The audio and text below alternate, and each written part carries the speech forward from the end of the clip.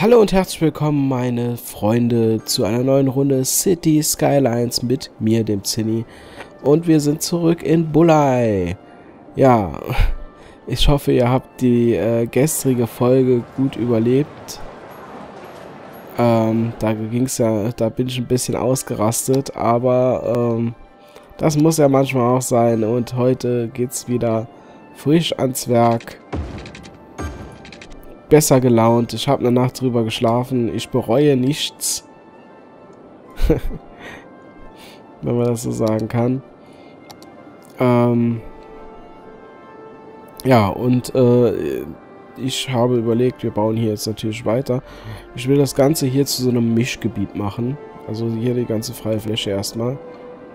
Alles immer gemischt mit ähm, also Industrie bleibt hier oben, aber hier dann äh, Büros, ähm, Gewerbe und Wohnhäuser. Ich ähm, würde sagen, mach, ich mache da einfach mal jetzt weiter, wie ich, wie ich das eingeplant habe. Ich hoffe, ich steuere nicht mehr so sehr. Ich habe das Mikro ein bisschen weggenommen von meinem Mund und ein bisschen den Pegel auch runtergesetzt und hoffe, dass die Einstellungen jetzt wieder besser sind. Das Ganze ist passiert, weil ich, Idiot, meinte, ich könnte zu Windows 7 wechseln. Ganz großer Fehler. Äh, ist, bei mir haben die Hälfte der Treiber nicht funktioniert. Ähm, also der Mikrofontreiber und sowas, die gingen, aber ähm, irgendwie hat er Probleme gehabt mit dem... Oh, das äh, falsch. So, wollte ich das machen. Ähm, der hatte da irgendwie Probleme gekriegt mit dem Netzwerktreiber. Das ist, da ist bei mir das Netzwerk immer wieder ausgefallen. Deswegen bin ich wieder zurückgewechselt und habe gedacht, lass die erstmal an dem System arbeiten. Und dann gucken wir später nochmal, ob das klappt. Äh, mit der Soundkarte gab es auch Probleme und das war, hat mich alles ein bisschen genervt. Gut, äh, das soll aber heute nicht unbedingt das Thema sein. Ähm, eine Zuschauerbitte war gewesen, dass ich ähm, mal ein Thema anspreche. Und zwar ist dieses Thema Fair Trade das, ähm, ich meine, wir haben ja hier alles äh, auch sehr landwirtschaftlich geprägt und so weiter. Deswegen ist das auch ein Thema für ähm, Bulai. Wir in Bulai äh, unterstützen natürlich den fairen Handel und haben unser eigenes Siegel, das heißt äh, Bullfair. Bullfair ist absolut fair. Und äh, am ehesten geht es darum, dass für das Bier faire Preise bezahlt werden. Weil den Bierbrauern geht es natürlich überhaupt nicht gut auf der Welt und die äh, müssen ordentlich bezahlt werden. Und da der Bierkonsum in Bulai relativ hoch ist, vor allem weil der, der, der Paddy hier wohnt, und der Martin und äh, wer weiß, was weiß ich, wer hier noch alles eingezogen ist. Ähm, deswegen müssen wir da natürlich drauf achten. Ähm, ja, nein, aber jetzt mal ein bisschen ernst zu dem Thema. Ähm, also ihr wisst vielleicht, was Fair Trade heißt. Fair Trade heißt, dass quasi ähm, die Produkte die unter diesen Siegeln verkauft werden, zu fairen Bedingungen äh, weiterverkauft werden. Also das heißt, wenn, wenn so ein Ding, äh, was sollen wir denn nehmen? Wenn Kaffee dann halt äh, ein bisschen teurer ist, dann liegt das daran, weil der Endkunde, äh, der, der, der Enderzeuger quasi den richtigen Lohn dafür bekommt. Weil es ist leider meistens so, dass äh, im internationalen Handel der Weltkonzerne ist so, dass die Weltkonzerne gerne mal da ähm, sich den dicksten Batzen abgreifen und die hinten dran fast gar nichts verdienen. Und das hat halt nichts mit fairem Handel zu tun und die Leute nagen quasi am Hungertuch, obwohl sie ein Produkt herstellen, was eigentlich ordentlich bezahlt wird hier. Und das soll halt durch diese Fairtrade-Sachen ein bisschen ähm, reguliert werden. Finde ich eigentlich eine sehr, sehr gute Aktion. Ähm, das Ganze wird größtenteils gemacht bei Naturprodukten. Ähm, das heißt Kakao, Kaffee und so weiter. Da ist halt auch die größte Diskrepanz immer ähm, zwischen den Sachen von den Großkonzernen und das, was die Leute dann letztlich dann kriegen. Wichtig ist dann auch, dass dann da Arbeitsplätze, äh, Arbeitsbedingungen stimmen in diesen Herkunftsländern. Das heißt, dass es da keine Kinderarbeit gibt und so weiter. Darauf sollte auch Wert gelegt werden. Aber ich sag euch jetzt schon mal, dass das alles nicht so Friede, Freude, Eierkuchen ist, wie sich das gerade anhört. Denn leider gibt es kein international äh, wie soll man sagen, alleingültiges Siegel von diesem Fair Trade. Es gibt verschiedene Organisationen, die alle ihre eigenen Siegel haben und die auch alle die das anders auslegen.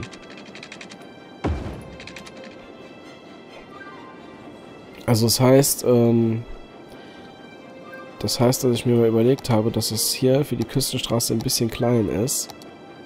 Deswegen upgraden wir die. Jetzt werden hier natürlich die Häuser abgerissen, aber leider muss das jetzt mal sein, weil wir werden später ein großes Problem bekommen, wenn hier Verkehr entsteht. Jetzt ist ja schon ein bisschen Verkehr, sieht man. So, zack, zack, zack. Ähm, wo war ich stehen geblieben? Ja, äh, das Problem bei dieser ganzen Sache ist halt, dass äh, da, dass da nichts kontrolliert wird und dass dann quasi ähm, jede Organisation ihre eigenen Standards hat. Da kann man jetzt sagen, na gut, die Standards sind aber bestimmt auch relativ hoch, aber leider haben sich da auch ähm, ein paar ähm, haben festgestellt, dass man damit eine goldene Nase verdienen kann, wie es immer so ist. Und ähm, da wird unter dem Scheinheiligtum des Gutmenschentums äh, ja, das finde ich halt immer ein blödes Wort, dieses Gutmenschentum, das hatten wir auch gestern quasi gehabt. Ähm, aber ich weiß nicht, wie ich es sonst gerade ausdrücken soll. Also, die Leute denken, sie würden was Gutes tun, aber ähm, letztlich tut sich in den Ländern, wo quasi das Geld einkommen kann, nicht wirklich viel. Ähm, die Produkte werden dann halt wegen diesem Fairtrade-Siegel natürlich teurer verkauft. Und jeder sagt, ich akzeptiere den teuren Preis, wenn das alles ankommt, aber die, das ist leider nicht gesichert, dass das Geld auch wirklich da ankommt. Ist sehr schade. Ich finde, solche Menschen, die, die sowas machen, die gehören auch in, hinter Gittern und ähm, sollten hart bestraft werden. Weil da wirklich ja mit einem ähm, mit der Gutmütigkeit der Menschen quasi Schabernack getrieben wird. Entschuldigung, ich bin immer noch erkältet. Hört man ja auch vielleicht. Oh, ja, ähm, auf jeden Fall ähm, sollte man da ganz genau drauf achten. Ähm, es gibt drei, vier Siegel, die scheinbar relativ gut sind. Da kann man sich im Internet informieren. Ich glaube, auf der Wikipedia-Seite sind die vier auch aufgeführt. Ich bin mir jetzt nicht sicher. Ich habe Wikipedia jetzt auch nicht nebenbei auf. Ähm, aber ich glaube, als ich das letzte Mal danach geguckt habe, da war es so. Ich kann die Namen jetzt äh, auch nicht auswendig, aber ähm, die meisten ähm, Weltläden oder wie das Ganze heißt, die führen sowas. Es gibt zum Beispiel ähm, auch von Lidl ein Label, das sowas sukzessiert. Sagt man das so? Sukzessiert. Mein, äh, mein internes Lexikon ist schon wieder kaputt. nee, ähm, auf jeden Fall äh, spielen die auch sowas vor und da ist halt bei Lidl wurde schon gesagt, dass das alles nicht so lauf, laufen würde, wie das angedacht war.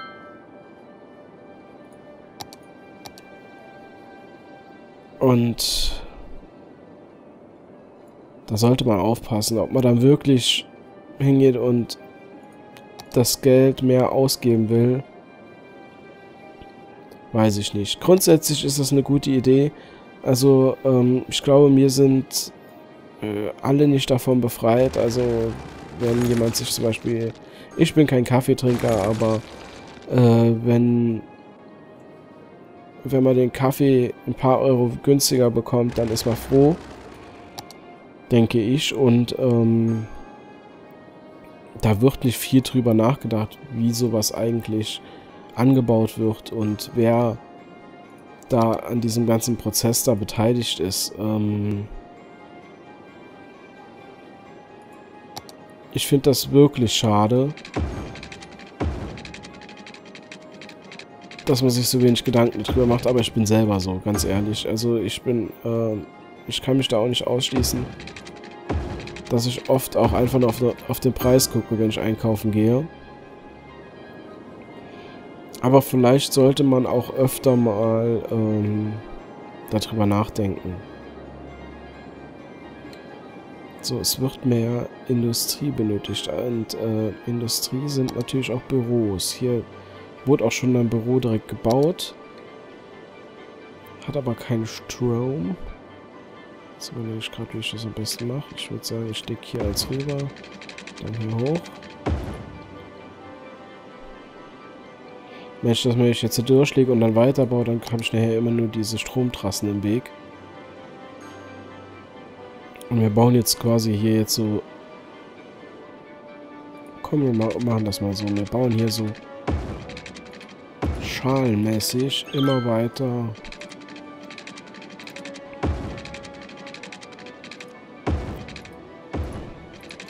Ist nicht alles ganz genau, aber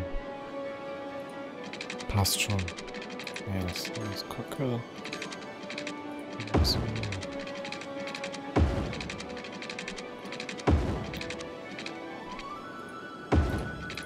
Machen wir dann noch eine Straße hier durch. Ähm, als ich aus dem Irlandurlaub zurückkam, bin ich über sind wir nachts über London geflogen und es war ganz äh, eine ganz seltene Begebenheit, äh, hat die Stewardess gesagt, dass wir sternenklaren Himmel über London hatten nachts. Das heißt, man hat aus dem Flugzeug alle möglichen Lichter gesehen und ähm, das hat richtig gut ausgesehen. Da hat man die Architektur, wie London aufgebaut ist, auch mal gesehen. Und das fand ich gerade sehr faszinierend, wenn ich hier so quasi mein Städtchen sehe. Die hatten nämlich auch, äh, mal sehen, ob ich hier irgendwie sowas habe.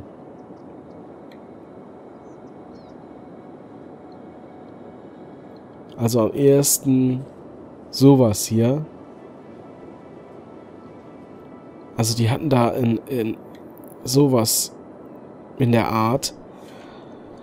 Das waren quasi ein riesen Gebäudeblock und das hat irgendwie so ausgesehen, als wäre da irgendwas reingeschrieben, so dass man das vom Flugzeug aus sehen kann. Das war ganz verrückt und äh, aber auch super interessant. Also, ähm, städtebautechnisch ist, glaube ich, London ziemlich weit vorne.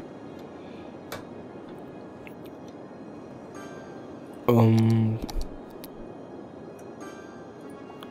was wollte ich noch? Ich würde sagen, das Gebiet lassen wir jetzt erstmal. Das wird ja noch... Bauen wir hier noch ein bisschen Wohngebiet rein. Und hier auch noch.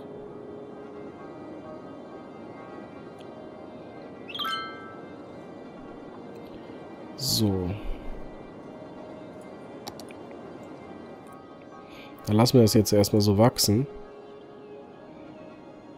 Wo hatte ich denn hier die Feuerwehr? Da, Feuerwehr und Polizei hingesetzt. Hier Krankenhaus. Können wir hier vielleicht noch irgendwo kleine hinsetzen. Da an die Straße vielleicht. Das machen wir aber dann, glaube ich, in der nächsten Folge. Ähm, ich hoffe, ich konnte euch ein bisschen was erklären zu diesem Fairtrade. Äh, zu dieser Fairtrade-Geschichte. Wenn ihr da äh, Anmerkungen und Fragen habt, dann haut mir das doch bitte in die Kommentare. Ich lasse mich auch gerne eines Besseren belehren, aber äh, ich habe mich da, glaube ich, ganz gut informiert. Und, ähm, ja, am besten, also vor allem, wenn ihr ähm, irgendwelche Organisationen kennt, die das wirklich gut machen und ähm, denen man da vertrauen kann, dann postet mir gerne die Namen unten rein. Ich äh, werde mich dann da auch umgucken.